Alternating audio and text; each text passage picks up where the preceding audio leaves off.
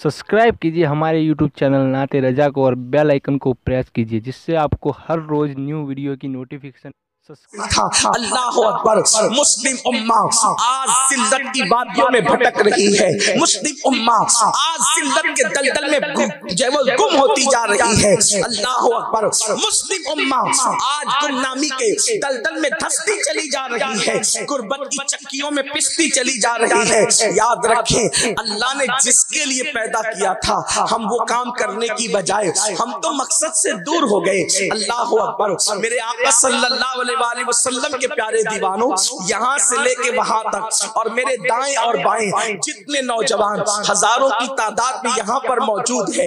मैं उनसे आज एक ही बात अस करना चाहता हूँ। सबसे दिल लगाने वालों आमिना के लाल से दिल लगाओ। सबसे दिल लगाने वालों मुस्तफ़ा जाने रहमत से दिल लगाओ। सबसे दिल लगाने वालों आओ उसके करीब हो जाए। अल्लाह अकबर। आप देखे ना हमने कितने दोस्तों के साथ दोस्तियाँ की है हमने कितने रिश्तेदारों के साथ रिश्ते किए हैं? हमने कितने ताल्लुकात वालों के साथ ताल्लुकात कायम किए हैं? लेकिन याद रखना अल्लाह अकबर। इस दुनिया के अंदर वफा नहीं है। इस दुनिया के अंदर वफा नहीं है। किसी कहने वाले ने कहा था कि शरीक जश्न हज़ार है। शरीक गम कोई नहीं। शरीक जश्न हज़ार है। शरीक गम कोई नहीं। हुसैन आज भी तनहा है करबला की तरह। ये दुनिया तो वो है। जब खुशियाँ आती है तो अजनबी भी आ जाते हैं। और जब गम आते हैं, मेरे एक जुमले पे तवज्जो करना मेरी कौम के जवानों, इसलिए कि आपके दरवाजे दिल पर, मैं अपने दिल का दर्द लेकर हाजिर हुआ हूँ काश अल्लाह किसी दिल के अंदर ये बात उतार दे। अल्लाह अकबर, खुशियों का माहौल होता है। तो खुशियों के माहौल में अजनबी भी शरीक हो जाते हैं नाचने और गाने के लिए। लेकिन जब गमों का माहौल हो तो गम के माहौल में अपने भी दूर भाग जाते हैं। बल्कि कहा जाता है, जब दिन अच्छे ना हो तो साया भी साथ छोड़ देता है। मेरे आका सल्लल्लाहु अलैहि वसल्लम के प्यारे दीवानों, अल्लाह अकबर, अगर जमाना खुशियों का हो तो लोग रिश्ते जोड़ते हैं। अगर जमाना दौलत का हो। लोग रिश्ते जोड़ते हैं लेकिन जब इंसान कंगाल हो जाए और परेशान हो जाए तो जुड़े हुए रिश्ते भी तोड़ दिए जाते हैं। किससे तुमने रिश्ते जोड़े? किससे तुमने वफा की? वो दोस्त जो बाइक पर घूमने के चक्कर में तुमसे दोस्तियाँ करते हैं जो तुम्हें गुनाहों के अड्डों पर ले जाने के लिए दोस्तियाँ करते हैं जो तुम्हारी दौलत की बुनियाद पे तुमसे दोस्तियाँ करते हैं। आओ अभी हम दुनिया में पैदा भी नहीं हुए थे। हमारी माओ से ज़्यादा जिसने हमसे मोहब्बत की, हमारे बापों से ज़्यादा, जिसने हमसे मोहब्बत की, हमारे हर रिश्ते से ज़्यादा, जिसने हमसे मोहब्बत की, वो आमिना का लाल, वो मुस्तफ़ा जान रहमत, उम्मत के लिए प्यार कितना, उम्मत के लिए मोहब्बत कितनी, उम्मत के लिए उल्फत कितनी, कि अल्लाह अकबर, जब देखो जब मेरे आका की जबान पर ज़िक्र है तो उम्मत का है तस्करा है तो उम्मत का है, याद है तो उम्मत की है, अल्लाह अकबर, उम्मत के लिए कैफियत क्या है तो कुरान कैफियत को यूँ बयान करता है। मुस्तफ़ा जाने रहमत के दर्द को यूँ बयान करता है। लक़द जाअकुम रसूलुम मिन अनफुसिकुम अजीजुन अलैहि मा अनितुम हरीसुन अलैकुम बिल मुमिनीन रऊफुर रहीम। तहकीक तुम्हारे पास इज़्ज़त वाले रसूल तशरीफ़ लाए। और उस रसूल की शान ये है कि तुम्हारा मुशक्कत में पड़ना, तुम्हारा गमों में घिर जाना, तुम्हारा तकलीफ़ में गिर जाना। उस रसूल पर बड़ा गिरा गुजरता है। जरा अंदाज़ा तो करो, हमें तकलीफ़ होती है तो आका बेचैन होते हैं।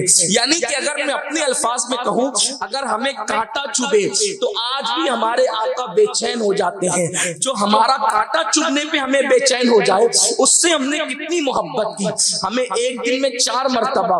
दोस्तों का मैसेज पढ़ना तो याद है, लेकिन वो रसूल जो हमारे पैरों के कांटे पर बेचैन हो जाते हो, जो हमारे पैरों के कांटों पर बेचैन हो जाते हो। मुझे आप जानते हैं क्या हमारे पैर के कांटे पर हमारी माँ भी कभी बेचैन होती है, हमारा बाप भी कभी बेचैन होता है। पहली बात तो ये है, मैं कानपुर में हूँ, मेरी अम्मी मालेगांव में है। उस बेचारी को पता चलेगा, तब वो बेचैन होगी ना। लेकिन मेरे नबी तो मेरी जान से ज़्यादा करीब है। मेरे नबी तो मेरी जान से ज़्यादा करीब है। अल्लाह अकबर, अंदाज़ा तो करें लेकिन हमने अपने रसूल के साथ क्या किया?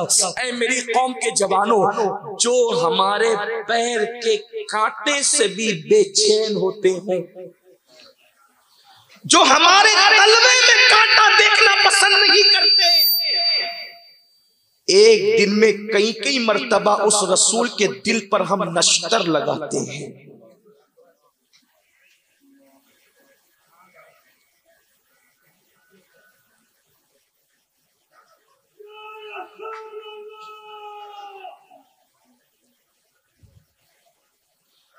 लोग कहते हैं, मुसलमानों को मारा क्यों जा रहा है? मैं कहता हूँ कि जो माँ का दिल दुखाए, अल्लाह उसको दुनिया ही से सजा देना शुरू कर देता है। जो कौम अपने नबी का दिल दुखाए, एक दिन में कई कई मर्तबा अपने नबी के दिल को तकलीफ़ पहुँचाए। क्या उस कौम के घर जलाए नहीं जाएँगे? उस कौम को मुल्क से निकालने की बात नहीं की जाएगी। उस कौम को कत्ल करने की बात नहीं की जाएगी। इसलिए कि मेरा अल्लाह वादहुला शरीफ समद, कादिर कय्यूम होने के बावजूद वो बेनियाज है। वो बेनियाज है। उसकी शान बेनियाजी का आलम यह है। कि अगर आदम 200 साल तक रोते हैं तो वो शान बेनियाजी से उन्हें जवाब भी नहीं देता। इस शान का बेनियाज है वो। आदम भी मासूम है ना। लेकिन 200 साल तक आदम सलाम रोते रहे कोई जवाब ही नहीं दिया। वो भी पैगंबर है वो भी नबी है कोई जवाब नहीं दिया। हज़रत दाऊद से लग्जिश पैगंबराना हो गई। इतना रोए। कि जहाँ आँसू गिरते थे, वहाँ पर घास उगाई। तो एक दिन कहने लगे, मौला, देख तो मैं अपनी लग्जिश पैगंबराना को याद करके कितना रोया कि घास उग गई। तो जवाब आता है, तुझे अपना रोना तो याद है, और तुझे अपनी लग्जिश पैगंबराना याद नहीं?